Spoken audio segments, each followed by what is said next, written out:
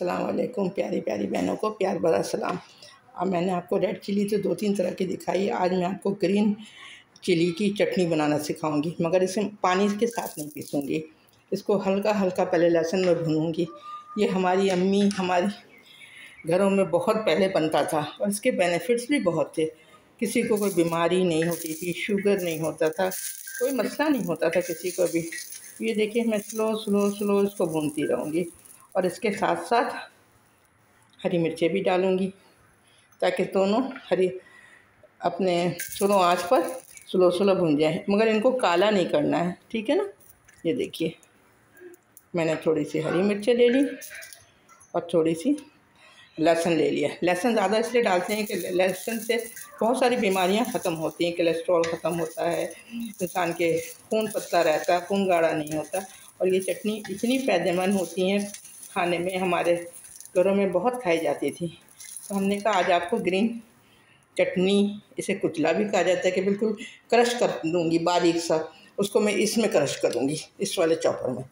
ये देखें, इसमें क्रश करके मैं आपको अपने शॉर्ट वीडियो में दिखाऊँगी कि ये कितना मज़ेदार और इसमें फिर इसमें मैं सरसों का तेल या ऑलिव ऑयल, सरसों का तेल डालूँगी तो मेरे बच्चे पसंद नहीं करते, लेकिन मुझे बहुत पसंद है सरसों के तेल में ये चटनी। तो मैं इसमें ऑलिव ऑयल भी थोड़ा सा डालूँगी और सरसों का तेल भी डालूँगी मिक्स करूँगी। वो मैं आपको शॉर्ट वीडियो में दिखाऊँगी। अभी मैं इसको स्लो स्लो आँच पर इसको भून रही हूँ, ताकि ये बहुत अच्छे से इससे खुशबू आने लगे। जब इसमें बहुत अच्छी खुशबू आती है ना तो इसका टेस्ट भी बहुत अच्छा होता है। देखें, ये मिर्चें भी हैं। स्लो स्लो स्लो स्लो आँच में बनती रहेंगी। ये ज़रूर बनाइए। रेड चिली तो बनाते हैं ग्रीन चिली ये बना के रखिए।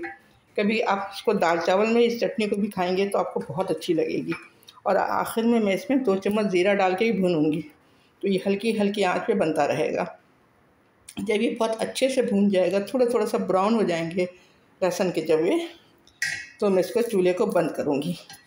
अभी तो मैं इसको आस्ता आस्ता भून रही ये देखिए। और आखिर में ज़ीरा डालूँगी, क्योंकि ज़ीरा तो बहुत जल्दी बन जाता है। तो इस चटनी को बनाइएगा इंजॉय कीजिएगा। रेड चटनी भी मैंने आपको बताई है। आज मैं ग्रीन चटनी बता रही हूँ, इसमें ज़्यादा कोई इंग्रेडिएंट्स नहीं होते, बस इसमें देखिए मैंने लहसुन लिया है।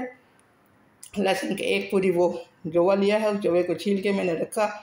फिर मैंने देखें ये ग्रीन चिली ली, इसको हल्का हल्का मैं रोस्ट कर रही हूँ, ठीक है? और थोड़ी सी देर के बाद जब ये अच्छा सा रोस्ट होने लगेगा तो मैं इसमें सफ़ेद ज़ीरा डालूँगी। ये देखिए। देखें मिर्चों की आवाज़ भी आ रही होगी आपको। ये देखिए। कितनी अच्छी बन रहे हैं। और जब इसको मैं बगैर पानी के ग्राइंडर में नहीं, चॉपर में मैं इसे पीसूँगी, मेरे ख्याल में सबके पास ये होता है। बहुत ही बारीक इसको चॉप करूँगी मैं। तो ये बहुत ही मज़े का होगा। उसमें फिर मैं नमक डाल के ऑलिव ऑयल डालूँगी और फिर मैं आपको उसको अपने शॉर्ट वीडियो में दिखाऊँगी। अब मैं थोड़ा सा इसके अंदर, ये देखिए, ज़ीरा भी डाल रही हूँ। सफ़ेद ज़ीरा, इससे बड़ी अच्छी खुशबू आती है चटनी में। ये देखिए वन टू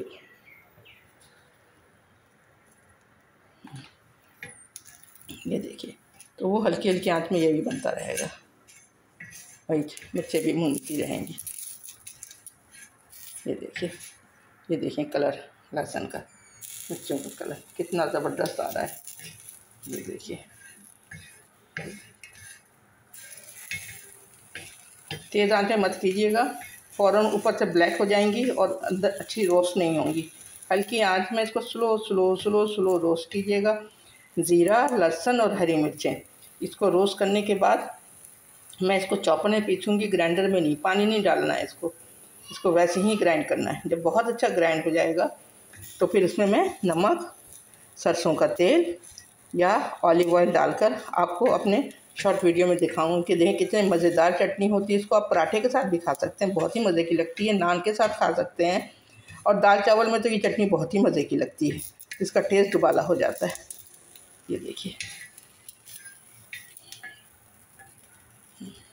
भाई, मैं आस्ता आस्ता भून रही हूँ। उसकी खुशबू आनी शुरू हो गई है।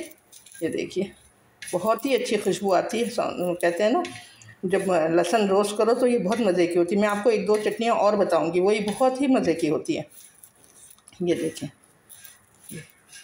अब ज़ीरा भी रोस्ट हो गया और लहसुन भी बहुत अच्छे रोस्ट हो गए। देखिए, इसकी शक्ल चेंज हो रही है। ये देखिए ये देखिए। हल्की आँच पे। तेज़ नहीं कीजिएगा, मिर्चों को ब्लैक नहीं करना है। इसकी अपनी खूबसूरती, इसका अपना कलर अपनी जगह होना चाहिए। देखिए, अब मैंने इसको रोस्ट कर दिया। ये देखिए, आपको आवाज़ आ रही होगी ज़ीरे के भुनने की। ये देखिए खुशबू तो बहुत अच्छी आ रही है तो इस चटनी को ज़रूर बनाइएगा। बहुत ही आसान, बहुत ही मज़ेदार, बहुत ही क्विक और बहुत ही लजीज होती है तो इसमें मेरे चटनी को ज़रूर बनाइएगा। मेरे चैनल को सब्सक्राइब कीजिए, बेल आइकन पर क्लिक कीजिए, लाइक कीजिए, शेयर कीजिए। मुझे आपकी इसी फेवर की ज़रूरत है और चटनी बना के इंजॉय कीजिए। अल्लाह हाफिज़।